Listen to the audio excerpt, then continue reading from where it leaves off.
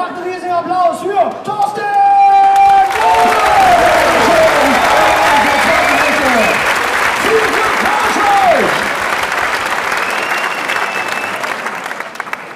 Ja, vielen Dank. Ähm, ich habe tatsächlich einen Text über. Ihr lacht schon früher. Ich habe tatsächlich einen Text über Hannover geschrieben.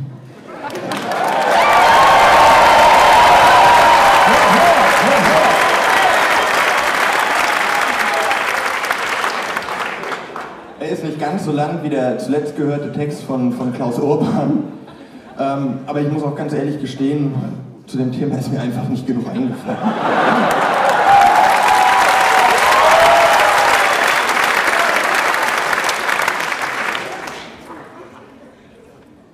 Die meisten Menschen, die in Hannover waren, sind da am Bahnhof mit dem Zug durchgefahren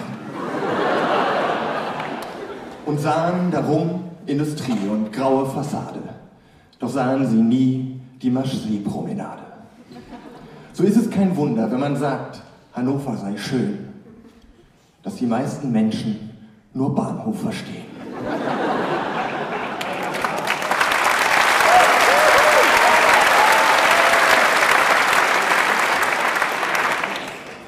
Doch berichten die eingeweihten Gelehrten von Parks und berühmten Gärten, die jährlich Touristen in Klassen anziehen. Daran könne man sehen, Hannover sei grün. Eine grüne Oase, trotz aller Kritik. Vielleicht nicht so sehr in der Politik. Denn von dort kommen, kaum zu verzeihen, Schröder und Wulff und von der Leyen.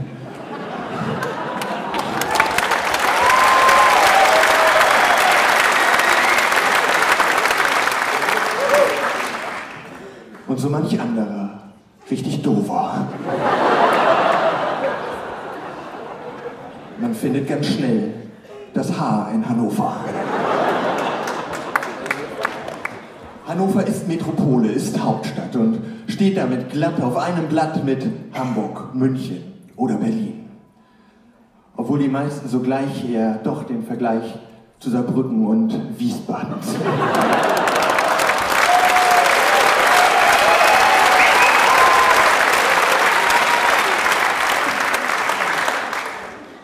Denn trotz der Expo Hannovers Bild in der Welt ist ein dummer August, der gegen ein Zelt pisst.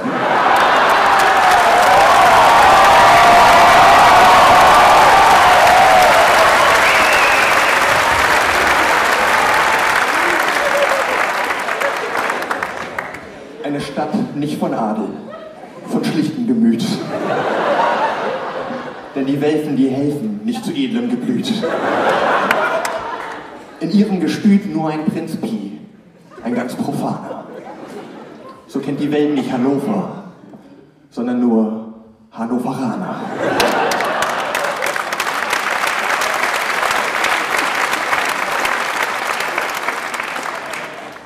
Wäre die Stadt eine Party, dann wäre sie der Hangover. Man findet ganz schnell das Haar in Hannover. Die nächste Strophe geht schnell, denn sie behandelt die Stadt kulturell. Kulinarisch gibt's hier nicht mal guten Döner, musikalisch nur Scorpions und verdammte Axt, Lena. Über Fury berichtet nicht mal mehr die Hatz. Und die wahren Rocker, die hocken am Steintauplatz. Das kulturelle Gewicht beträgt kaum eine Unze. Der größte Dichter der Stadt ist Tobias Kunze. Luther und Goethe gibt es hier nur als Schule. Diese Stadt ist wahrlich kein Mecker für Schwule.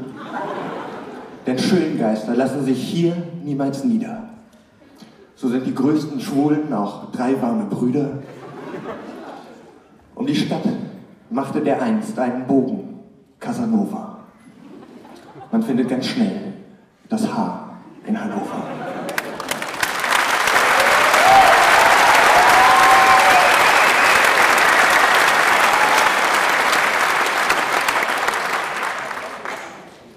Hannover hat eben kein Leben, kein Lebensgefühl. Ist nur ein Gewinn als Reiseziel für ein Auswärtsspiel.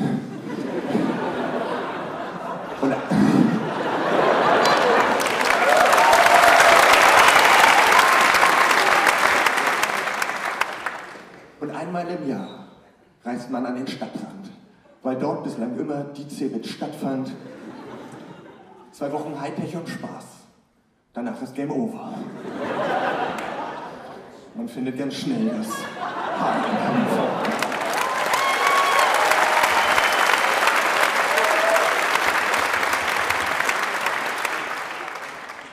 Hannover hat zu viele Autos, zu wenig Parklücken.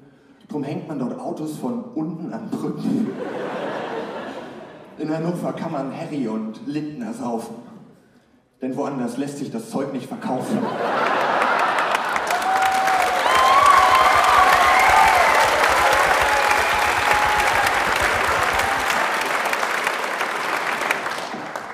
Besuch in der Stadt scheint nur insofern zu lohnen, dass man hinterher froh ist, hier nicht zu.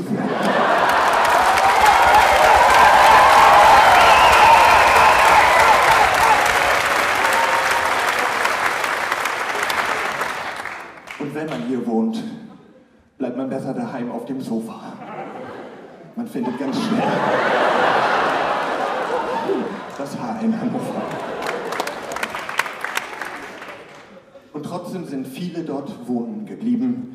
Denn auch für Hannover gilt, man muss es halt lieben.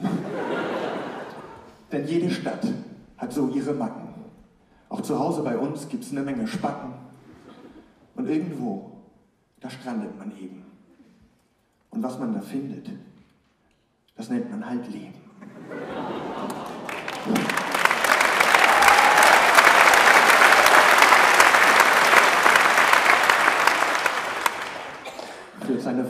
Frau an der Leine.